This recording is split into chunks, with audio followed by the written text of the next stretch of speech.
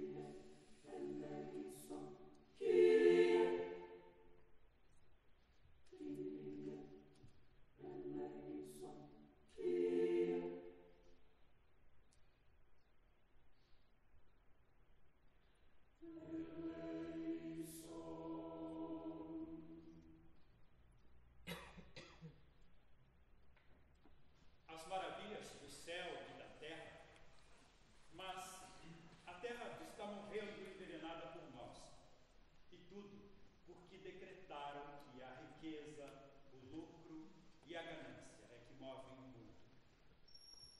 A menos que aprendamos a viver e deixar viver, nada restará a nenhum de nós.